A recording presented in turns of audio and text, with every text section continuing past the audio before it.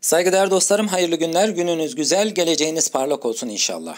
Şunun şurasında çok az bir zaman kaldı ve biz çok şükür 6. denemeye kadar geldik. Daha 3 denememiz daha var arkadaşlar. İnşallah çözüyorsunuzdur. Sınava girdiğinizde işte bu soruyu, buna yakın soruyu çözdüm diyeceksiniz. Emin olun bundan.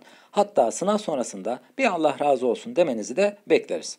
Hemen hemen aynı soruların çıkacağını kesinlikle söyleyebilirim. Çünkü yılların verdiği bir tecrübedir. Buna yakın sorular çıkacaktır. İnşallah da yaparsınız. İnşallah da istediğiniz yere kavuşursunuz. Buyurun arkadaşlar başlayalım. Biliyorsunuz ekranı durdurup kendiniz çözüyorsunuz. Sonrasında devam ettirip cevabına bakabiliyorsunuz. Evet birinci sorumuz.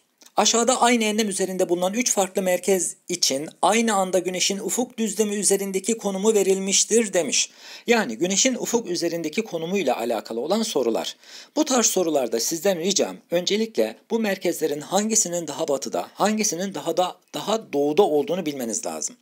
Güneşin daha yeni doğmuş olduğu Y noktasının daha batıda olduğunu, A noktasında ise güneşin batmakta olduğunu, dolayısıyla daha doğuda olduğunu bir kere başta bilin ona göre soruyu çözersiniz. Yoksa çözemezsiniz. Yerel saati en geri olan merkez Y'dir. E, daha yeni doğulan bir Y merkezinin daha batıda olduğunu söylemiştik. Bu doğru. E merkezinde öğlen vakti yaşanmaktadır. Güneş tam tepe noktasında bu da doğru. A merkezinde akşam vakti yaşanmaktadır. Güneşin batmakta olduğunu görüyorum. Bu da doğru. Y merkezi başlangıç meridyenine daha uzaktır. Şimdi bunların boylam değerleriyle alakalı herhangi bir bilgim yok. Yalnız daha doğuda daha batıda gibi bilgim var. Bu yüzden bu konu hakkında bir fikir yürütemeyeceğim. Verilen merkezlerin gece gündüz süreleri eşittir. Bunu da soru içerisinde aynı enlem üzerinde bulunan şeklinde bir ifade var. Bakın yukarıda. Dolayısıyla aynı enlem üzerinde bulunan merkezlerde gece süresi de gündüz süresi de gece ile gündüz arasındaki süre farkı da aynıdır. Dolayısıyla cevabımız denizde arkadaşlarım. Yukarıda verilen bilgilerden hangileri Türkiye'nin özel konumu ile açıklanabilir? Kuzeyine doğru gidildikçe gece gündüz süreler arasındaki zaman farkı artar. Arkadaşlar Türkiye kuzey yarımkürededir ve kuzeye doğru gidildikçe kuzey kutbuna yaklaşılmaktadır. Kuzey kutbuna yaklaşıldıkça ya da güney kutbu fark etmez gece ile gündüz arasındaki süre farkı artar. Gece gündüz arasındaki farkın artışı Türkiye'nin kuzey yarımkürede olduğunu yani bu maddenin matematik konumla alakalı olduğunu ifade eder. Kuzeybatısında sanayisi gelişmiş ülkeler yer almaktadır. Ülke bağlantıları özel konumdur arkadaşlar. Çok sayıda farklı medeniyetlere ait kültürel değerlere sahiptir. Bu da Türkiye'nin çok eski zamanlarda Anadolu beşiği halinde olmasıyla alakalı olduğu için cevabımız 2 ve 3 olacaktır.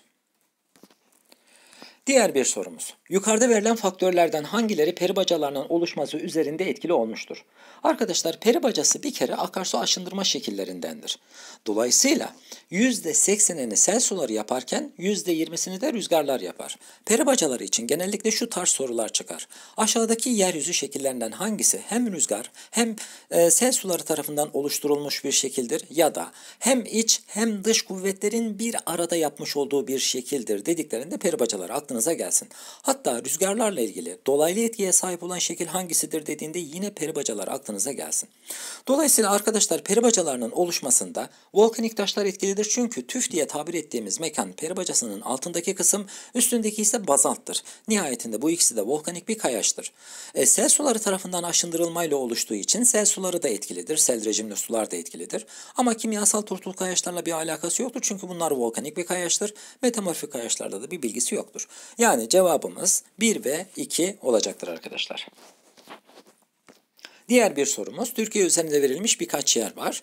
Bu yerlerden hangisinde tektonik deprem oluşma ihtimali daha azdır? Arkadaşlarım, Türkiye'de 5-6 nokta var. Bunları çok iyi ezberleyin. Doğu Karadeniz, Trakya, Anamur-Mersin arası, İç Anadolu'nun orta kısmı ve Güneydoğu Anadolu bölgesi. Buralarda deprem ihtimali yoktur diye saçma sapan bir ifade olmaz. Deprem olur. Deprem olmayan bir yer yoktur. Yalnız etkisi azdır araziyle alakalı olabilir, masif bir ile alakalı olabilir. Etkisi azdır. Onu o şekilde düşünmemiz lazım.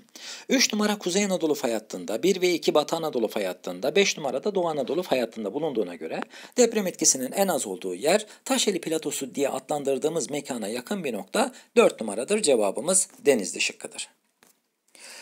Yukarıda verilen yer şekillerinden hangileri dalgaların biriktirme faaliyetleri sonucunda oluşmuştur? Şimdi tombolo açıktaki bir adanın dalgalarının getirdiği malzeme ile ana karaya bağlanmasıyla oluşan bir şekildir. Dolayısıyla bunu alalım. Kumsal dalgaların getirdiği malzemelerin kıyının ön kısmına biriktirmesiyle oluşmuş plaj diye nitelendirdiğimiz kesimdir. Bunu da alalım.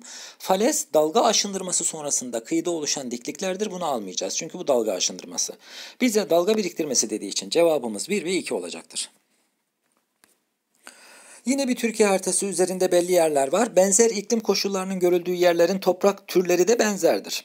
Evet, buna göre haritada numaralandırılarak verilen yerlerden hangilerinin toprak türleri daha fazla benzerlik gösterir. Aslında hangisinin iklimi benzerdir şeklinde sorulsa da olurmuş. Bir numarada Akdeniz iklimi var, dört numarada Karadeniz iklimi var, iki ve üç numarada karasal iklim var. İki ve üçün iklimleri benzerse hakim bitki türleri ya da toprak türleri de benzer olacaktır. Cevabımız 2 ile 3 tür diyebiliriz. Ülkemizde ne demiş? Yukarıda özellikleri verilen basınç merkezi hangisidir? Bu tarz sorularda da önermeleri önce okumayın. Önce soruyu okuyun. Önermeleri okurken daha e, fazla zaman kalacaktır size. Verilen basınç merkezi hangisidir demiş. Ülkemize kuzeybatı yönden etki etmektedir. Arkadaşlar ülkemizin kuzeybatısında İzlanda var. Güneybatısında Asor var. Kuzeydoğusunda Sibirya var. Güneydoğusunda ise Basra var. Bir kere bu bilgiden cevabın direkt İzlanda olduğu aklınıza gelebilir. Etkili olduğu dönemde sıcaklık ve yağışlarda artış görülür. İzlanda alçak basıncı Türkiye'de etkili olduğunda kış ayları daha ılık geçer arkadaşlar. Sıcaklık artışı da yaşanabilir. Cevabımız İzlanda'dır. Diğer bir soru yine Türkiye haritasında 3 yer, 3 farklı yer işaretlenmiştir. Bu yerlerin iklim özellikleri ile ilgili hangisi söylenemez? Tamam. Yağış rejimi sadece birde düzenlidir. Bir Karadeniz kıyılarında yer aldığına göre Türkiye'de kısmen de olsa yağış rejimi düzenli olan yer burasıdır. Bu doğru. Yıllık sıcaklık farkı 2'de en fazladır. Bir kere yıllık sıcaklık farkı karasal iklimlerde daha fazladır. İkinin olduğu yerde karasal. Ha, Erzurum, Kars gibi bir yere işaret konulsaydı onun sıcaklık farkı daha fazla olurdu diyebiliriz. Ama şu anda elimizde 3 tane nokta var. Onu değerlendiriyoruz. Kış sıcaklıkları 3'te en yüksektir. Türkiye'de kış aylarında en sıcak olan yerler Akdeniz iklim bölgesidir. Dolayısıyla 3 de Akdeniz iklim bölgesinde olduğu için doğrudur. 3'ün birden sıcak olmasında enlem etkisi vardır. 3 Akdeniz bölgesinde ekvatora daha yakın, 1 ise Karadeniz'de ekvatora uzak. Dolayısıyla burada enlem etkisinden söz edebiliriz, sıkıntı yok. İkide bitki örtüsü gür ormanlardır. Şimdi karasal iklimdeki hakim bitki örtüsü step. Step de bir ot türü. Gür orman olabilmesi için yağış miktarının çok fazla olması lazım. O yüzden bu saçma bir ifade olmuş. Cevabımız Edirne'dir. İnsanlar tarafından orman alanlarının tahrip edilmesi sonucu oluşan bozkırlara antropojen bozkır adı verilir. Bu şekilde oluşan bozkırlar aşağıda verilen yerlerin hangisinde görülür? Şimdi bozkır dediğimiz bir bitki türü karasal iklimde kendini gösterir. Biz burada karasal iklim üzerinde yer alan bir yer arayacağız. İzmir ve çevresi Akdeniz iklimi, Sinop çevresi Karadeniz iklimi, Ankara iç kısımlarda karasal iklim, Artvin Karadeniz, Balıkesir Akdeniz iklimi. E zaten karşımıza direkt cevabımız Ceyhan olarak çıkıyor arkadaşlar. Tarımsal nüfus yoğunluğunun fazla olduğu yerlere genel olarak tarım alanları dardır, tarımla uğraşan nüfus fazladır. Buna göre demiş. Harita üzerinde numaralandırılarak verilen yerlerin hangisinde tarımsal nüfus yoğunluğunun diğerlerine göre daha fazla olması beklenir? Saygıdeğer dostlarım, tarımsal nüfus yoğunluğu biraz e, bilgi karmaşasına sebep olan bir ifade. Şöyle diyeyim, tarımsal nüfus yoğunluğunun fazla olduğu yer tarımın yapıldığı bir yer değildir. Bir kere bunu kafanızda netleştirin. Yani zıt düşüneceksiniz. Tarımsal nüfus yoğunluğu dağlık bölgelerde çok daha fazladır. Çünkü tarım alanının kısıtlı olduğu yerde tarımsal nüfus yoğunluğu çok daha fazla olur. O yüzden bizden ne diyor? Tarımsal nüfus yoğunluğunun diğerlerine göre daha fazla olması beklenir diyor. Bizden en dağlık yeri istiyor aslında. Tarım alanları en dar olan yeri istiyor. Bir düz, iki düz, üç düz, beş düz olan yerler ama dört numara Doğu Karadeniz'de dağlık olan bir mekan tarımsal nüfus yoğunluğu işlerinde en fazla olan yer dörttür diyebiliriz. K şehrinin gelişmiş bazı fonksiyonel özellikleri gösterilmiştir. Buna göre K şehri aşağıdakilerden hangisi olabilir demiş. Şimdi K şehrine bakıyorum şekil olarak arkadaşlar. Hem liman var, hem turizm var, hem de ticaret var. Yani her üçünü de kabul edeceğiz bunun için. Ankara'da liman olmadığı için gitti. Sinop'ta liman var ama gelişmediği için gitti. İzmir'de liman var. Şimdi bir tarafta dursun. Kırklareli'de yok, Kastamonu'da yok. O zaman baştan çıktı zaten İzmir. Ege kıyıları için biz ne diyoruz? Hem ticaret, hem turizm, hem de tarım. 3T aklınızdan çıkmasın. Dolayısıyla İzmir sorumuzun cevabı olacaktır arkadaşlar. Ülkemizde tarımda makine kullanımının artış göstermesi sonucunda Şimdi bir yere makine gelince diye de başlayabilirdik aslında soruya. Kırsal kesimdeki işsizlik oranı, insan gücüne duyulan ihtiyaç, ürünlerin hasat süresi. Hangilerinde artış görülmesi beklenir demiş. Makine geldi diyelim artık insanlar yapıyordu işi. O 150-200 kişi yapıyordu ama makine geldi bir kişi ya da iki kişi yapmaya başladı. Ne oldu insan? Azaldı. O zaman dışarıya yapılan göçler artmış olacak. Kırsal kesimdeki işsizlik oranı ne olur? Artar. İnsan gücüne duyulan ihtiyaç ne olur? Azalır. Artık makine işi yapıyor. Ürünlerin hasat süresi önceden insan yapıyor yapıyordu. Şimdi makine yaptığı için onun süresi de azalır. Bizde artış görülmesi beklenir dediği için sadece bir diyebilirsiniz arkadaşlar. Türkiye'de 1923-1932 yılları arasında uygulanacak ekonomi politikalarına aşağıdakilerden hangisinde karar verilmiştir? %100 bilgi sorusu arkadaşlar yoruma gerek yok. 1923 İzmir İktisat Kongresi yapıldı ve bu karar alındı arkadaşlar. Batı Anadolu dağları doğu batı yönünde uzanan kırılmalar ile oluşmuş horst alanlardır. Bu dağların arasında graben denilen çöküntü alanları bulunmaktadır. Verilenlerden hangileri üzerinde etkisi vardır? Yani bu grabenlerin, bu alanın, bu dağların uzanış şeklinin hangisi üzerinde etkisi vardır demiş. Denizel hava kütlelerinin iç kısımlara ulaşması. Arkadaşlar dağlar kıyıya dik uzandığı için denizin içeriye girmesi daha kolaydır. O zaman bunda imkan sağlamış. Karayollarının doğu batı yönde uzanması tabii ki buna da imkan sağlamış. İzmir limanının art bölgesinin geniş olması. Arkadaşlar bir limanın işlek olabilmesi hinterlandının geniş olmasına bağlıdır. Karadeniz ve Akdeniz'de dağlar kıyıya paralel uzandığı için hinterlandı dar olan limanlar varken Ege bölgesindeki limanların hinterlandlara dağların kıyıya dik uzanmasından dolayı daha geniştir. Dolayısıyla bunda da etkisi vardır. Yani ben olsam üçünü de alırdım arkadaşlar.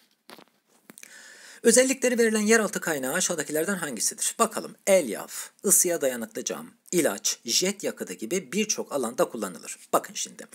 Böyle önermelerde bu konuda hiçbir bilginiz yok diyelim. Yani birinci önermeden hiçbir şey çıkaramadınız. Gerçekten bilmiyorsunuz. Dursun. Hiç sıkıntı yapmayın. İkinci önermeye bakalım. Bu maddenin toplam rezervinin yaklaşık %72'si Türkiye'de bulunur. Ha, burada %50'den fazlaysa o zaman dünyada birinci olduğumuz bir madenden bahsediyor. Demirde, altında, kromda, boksitte biz birinci değiliz. Ha fazla olabilir ama birinci değiliz. Borda dünyada birinciyiz. Yani yani sırf bu maddeden bile çıkartabilirsin. Sonrasında gerçekten elyaf, ısıya dayanıklı cam, ilaç, jet yakıtı gibi alanlarda da kullanılır. Bilgisi de sizde hakim olabilir. Yani cevabımız bor madeni olacak. Aşağıdakilerden hangisinin ülkemizin ihracat gelirleri içerisindeki payı daha azdır? İhracat neydi arkadaşlar? Satış. İthalat neydi? Alış. Yani dışarıya fazla satmıyoruz demek istiyor. Tekstil çok sattığımız bir ürün, demir çelik sattığımız bir ürün. Motorlu kara taşları zaten birinciyiz. Nasıl oluyor? Gerçekten anlamıyorum. Kes kopyala yapıştırda birinci olan başka bir ülke yok zannediyorum. Evet parçaları malzemeleri alıp birleştirip satıyoruz ve bunda birinciyiz arkadaşlar. Beyaz eşya ve fosil yakıtlar. Şimdi bu ikisi arasında kalabilirsiniz ama fosil yakıt olarak taş kömür olsun, petrol olsun bu konuda biz dışa bağımlı olan bir ülke olduğumuz için yani dışarıya satmaktansa dışarıdan alma taraftarı olan bir ülkeyiz. Beyaz eşya kısmen de olsa satıyoruz arkadaşlar. Dolayısıyla biz cevap olarak Edirne'yi tercih edebiliriz. Kültürel ve doğal güzelliklerin ülkemizin ekonomisine katkısı fazla katkı sağlaması için verilenlerden hangisi yapılmalıdır demiş. Şimdi sadece bunu söylese de olurdu ama bir açıklama var. Son yıllarda ülkemiz için uluslararası turizmin önemi giderek artmıştır. Ülkemizin kültürel ve doğal güzelliklerinin tamamı henüz iç ve dış turizm kullanımına sunulamamıştır. Buna rağmen ülkemiz dünyada en çok turist çeken ilk 10 ülke içinde yer almaktadır. Güzel bir şey inşallah ilk 3'e de gireriz. Şimdi size 3 tane önerme vermiş. Hangisini yapmamız lazım? Ülke ekonomisine turizmin daha fazla katkı sağlaması için demiş. Doğal güzelliklerin tanıtımına ağırlık verilmesi. Güzel olur, reklam iyidir. Çünkü insanlar kendi ellerindeki cep telefonlarını kullanarak çoğu yeri keşfedebiliyorlar. Yani gitmeye gerek kalmıyor. Buradan keşfediyorlar, ondan sonra gidiyorlar. Etkili olabilir. Turizm sektöründe çalışan kişi sayısının arttırılması. Bu konuda bir sıkıntımız var arkadaşlar. Yani adam bilmiyorsa istersen 5 kişi değil 5000 kişi yap. Bilmiyorsa bilmiyordur yani. Nihayetinde sayı istediğin kadar arttır. Bu mümkün değil. Aynı bu şeye benzer. Hayvanlarımız iyi değil. Et verimi, süt verimi çok düşük. Ben hayvan sayısını arttırsam hayvancılığımız gelişir mi? Gelişmez. Çünkü et verimi, süt verimi düşük. ırkı bozuk. Yani nihayetinde daha farklı ırklarla hem hal ederek e, onlardan doğacak olan yavruların daha fazla gelir getirmesi sağlanabilir. Yani bu ikiyi almayalım. Ülkemize gelen turistlerin alışveriş olanaklarının arttırılması. E bu da mantıklı. O zaman ben olsam 1 ve 3'ü alırdım. Son sorumuz arkadaşlar. Doğu Karadeniz Projesi yani DOKAP amacı sosyal ve ekonomik açıdan gelişme seviyesi düşük olan Artvin, Bayburt, Giresun, Gümüşhane, Ordu, Rize ve Trabzon illerinin kalkınmasını sağlamaktır. Aşağıdakilerden hangisi bu amaç doğrultusunda yapılacak çalışmalar arasında gösterilemez? Arkadaşlar Türkiye'de 5-6 projemiz var. Bunlar hakkında gerçekten bilgi sahibi olun. Bekleyebileceğimiz bir soru. Yani belki sınavda çıkma ihtimali yüksek olan bir soru. Yine sınav sonrasında görüşeceğiz ama ben bekliyorum aslında bitki örtüsünden, nüfustan ve kalkınma projelerinden bekliyorum. E, DAP var Doğu Anadolu Projesi, e, DOKAP var Doğu Karadeniz Projesi, YHGP var Yeşilırmak Havzası Gelişim Projesi, ZBK var Zonguldak Bartın Karabük Projesi, KOP Projesi var Konya Ovası Sulama Projesi, bir de GAP Projesi var Güneydoğu Anadolu Projesi. Ve bu e, projeler içerisinde Doğu Karadeniz'in amacıyla ilgili gösterilemez demiş. İşsizliği azaltmak mantıklı, ulaşım ağını geliştirmek olabilir, ekonomik çeşitliliği artırmak güzel, bölge dışına yapılan göçleri artırmak. Ben dışarıdan insanlar buraya gelsin diye bir şey yapıyorsam neden buradaki insanı dışarıya göndereyim? Biraz saçma olmuş. Kişi başına düşen milli geliri arttırmak olabilir. O zaman cevabımız direkt Denizli'dir arkadaşlar. Saygıdeğer dostlarım eğer full yaptıysanız size de sizi yetiştirene de helal olsun. 1-4 arası yanlışınız varsa birazcık tekrar gerekiyor. 5 ve daha fazla yanlışınız varsa sınava çok az bir zaman kaldı ama bu eksiklerinizi yapamadığınız soruların konularını tekrar ederek giderebilirsiniz. Takipte kalın, kendinize iyi bakın, Allah'a emanet, hayırlı günler olsun.